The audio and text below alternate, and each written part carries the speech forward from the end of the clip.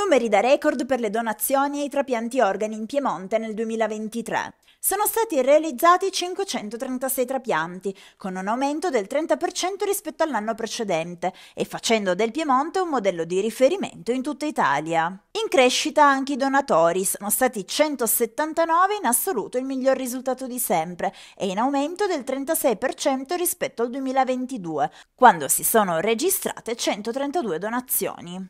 La qualità dei programmi di trapianto ad aver determinato il tasso di successo raggiunto. A confermarlo il Centro regionale Trapianti, il Centro regionale Donazioni e Prelievi di Organi e Tessuti e l'azienda ospedaliera universitaria Città della Salute e della Scienza di Torino, che si è confermata all'ospedale al vertice di questa attività in Italia, con 458 trapianti alle molinette più 10 pediatrici. Questi sono numeri senza precedenti, da scandire con estremo rispetto, con attenzione e per i quali non si può che esprimere la totale riconoscenza a nome di tutta la comunità, senza mai dimenticarsi che quando parliamo di trapianti dietro a ogni numero c'è una vita, c'è una vita umana, c'è una persona, c'è una famiglia. Per sottolineare questa vocazione è stato istituito un dipartimento trapianti, a cui afferiscono ben 37 strutture, a dimostrazione di un impegno diffuso e trasversale capace di fare sistema, di produrre risultati concreti. I trapianti si possono realizzare con successo se tutto il sistema sanitario regionale intorno funziona bene.